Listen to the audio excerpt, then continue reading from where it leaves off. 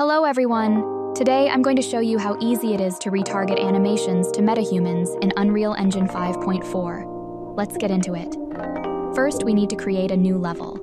Then create a new folder, just to keep things organized.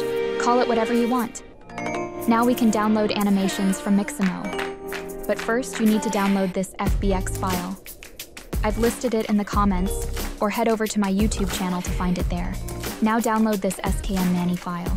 In Unreal Engine, open up the folder you created and import the FBX file you downloaded.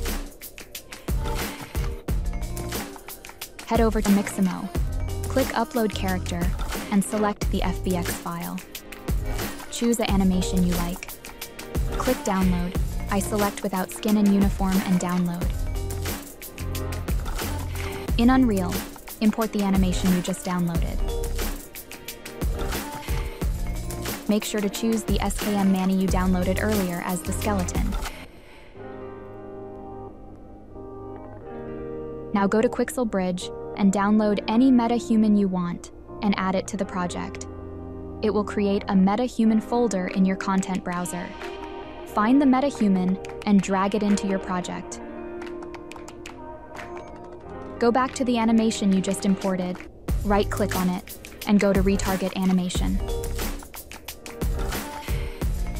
Make sure the source is SKM Manny, and the target should be the metahuman's body. In my case, it's called male, medium, underweight, body. Select yours as the target. Double click on your animation to make sure it works, and then select Export Animation.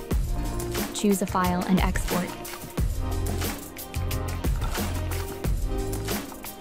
Create a new level sequence and call it whatever you'd like. Select your meta-human and add it to your sequence. Delete the body control rig and select the plus sign next to the body tab. Go up to animation and search for the animation you downloaded earlier.